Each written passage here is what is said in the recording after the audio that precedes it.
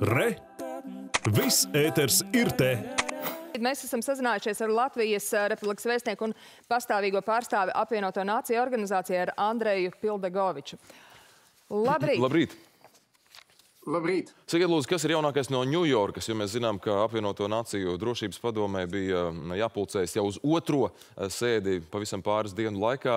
Kādā stadijā, statusā tā ir pat labi vai noslēgusies, vai eh, kā darba kārtība vispār tad ir mainījis naktī notikušais? Paldies! Nu, pirmām kārtām šodien visu dienu ANO Ņujorkā notika diskusijas par Ukrainu. Sākumā ģenerālajā asamblējā vairāk kā 70 valsts izteicās par stāvokļa samezglojumu, par konflikta teiksim, eskalāciju. Un es gribēju teikt, ka no 70 valstīm, kas uzstājās tikai viena valsts, tikai Sīrija,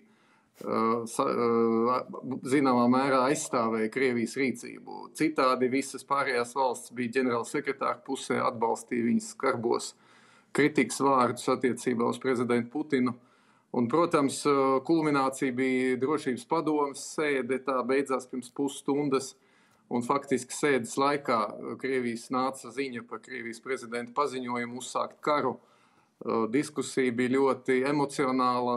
Ģenerāls sekretārs atkārtoti, ļoti skaidri, ļoti stingri aicināja Krievijas prezidentu apdomāties, apturēt šo karu, novērst asins izliešanu un, un respektēt Ukraiņas neatkarību un suverenitāti.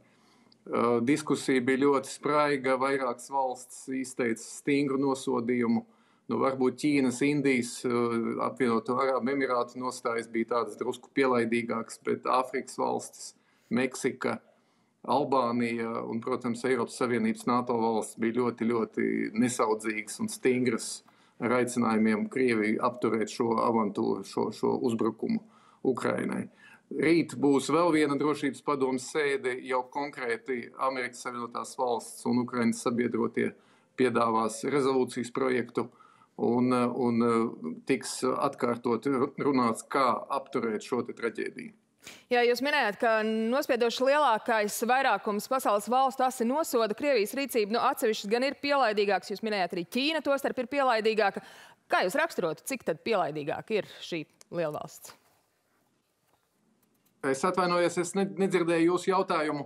Jautājums ir sekojošs. Jūs minējāt, ka Ķīna ir bijusi pielaidīgāka šajā jautājumā. Kā jūs raksturotu, cik pielaidīgāka ir Ķīna? Nu, diemžēl Ķīnas un Indijas un apvienoto Arābu Emirātu nostājas bija tādas diezgan izvairīgas. Faktiski valsts pieminēja ANO hartu, bet negribēja skarbāk uh, kritizēt Krieviju. Un uh, būtībā uh, centās atkārtot teikt, nu, tādus pat patiesības, ka diplomātijai ir jāuzvar un pusēm vajadzētu būt savaldīgām un atturēties no eskalācijas. Bet, bet nu, šādi vēstījumi bija diezgan nenopietni un teatrāli.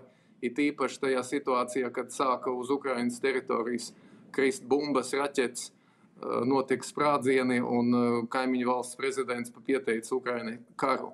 Tā kā, nu, diemžēl, teiksim, šo valstu nostājas nu, bija tādas neprincipiālas.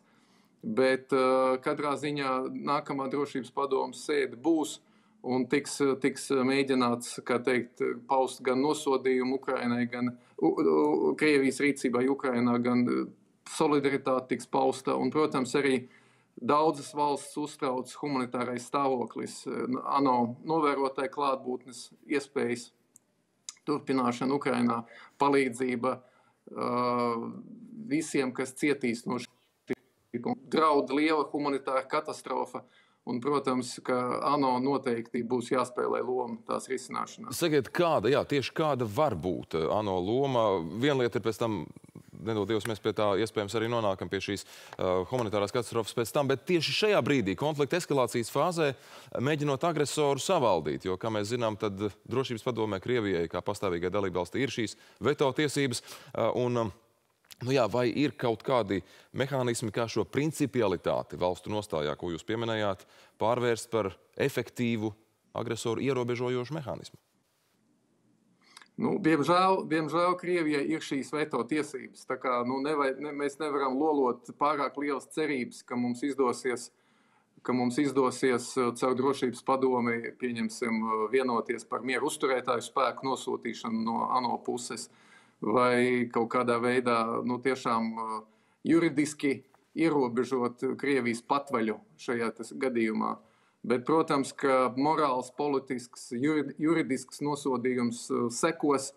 Ļoti svarīga ir ANO ģenerālsekretāra Gutereša ļoti skaidrā pozīcija. Viņš ir iestājies Ukraiņas pusē, viņš kritizē Krieviju par hartas pārkāpšanu, viņš uzskata šo par uzbrukumu visai ANO saimei. Tas ir ļoti svarīgi, ļoti svarīgi, kad arī vairākas Āfrikas un Latīņamerikas, Āzijas valsts arī izteikušās skaidri.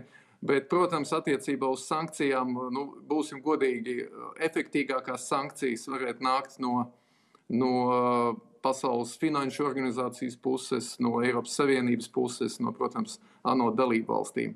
Šeit ar Krievijas veto tiesībām nu, grūti, grūti cerēt uz ātru risinājumu, bet, protams, ka mēs no savas puses, no Eiropas Savienības valstu puses pieliksim visas pūles. Kā jūs teiktu, sekas, ko izjūt, arī izjutīs līdzinājā starptautiskā kārtība šī konflikta kontekstā? Nu, būtībā šobrīd tiešām šī ir lielākā krīze ANO vēsturē pēdējo 30 gadu laikā, nepārspīlējot. Un būtībā mēs esam tādās zināmās krustcelēs, vai ANO atkārtos nāciju līgu, līgas likteni pirms otrā pasaules kara vai tomēr eh, ANO dalībvalstīm un sabiedrībai izdosies šo konfliktu apturēt. Eh, nepārspīlējot, situācija ļoti, ļoti dramatiska, likmes ir ļoti, ļoti augstas, bet eh, ir pilnīgi skaidrs, ka šāda patvaļa, nu, būtībā noziedzīga rīcība no Krievijas puses nedrīkst būt nesodīta. Un uh, ANO ir jāmeklē juridiski risinājumi, kā šo patvaļu apturēt, kā šo noziegumu novērst un, protams, novērst asins izliešanu iespējami ātri. Lielas paldies par sarunu šajā paldies. rītā jums vakarā. Andrēs Pildikovičs, Latvijas Republikas vēstnieks. Paldies jums! Un pastāvīgais pārstāvs.